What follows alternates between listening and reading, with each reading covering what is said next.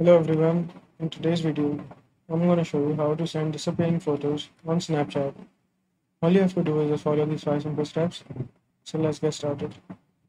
The first step is to open Snapchat. Launch the Snapchat app on your device and log in if necessary. The next step is to take a photo. Tap the camera icon to take a photo. You can also press and hold the capture button for a video.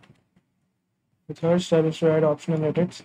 If you want, add filters Add filters, text, or drawings to your photo before sending it. The first step is to tap the send button. Once you're satisfied with your photo, tap the send button in the bottom right corner. The first and the final step is to choose recipients. Select the friends you want to send the photo to, then tap send.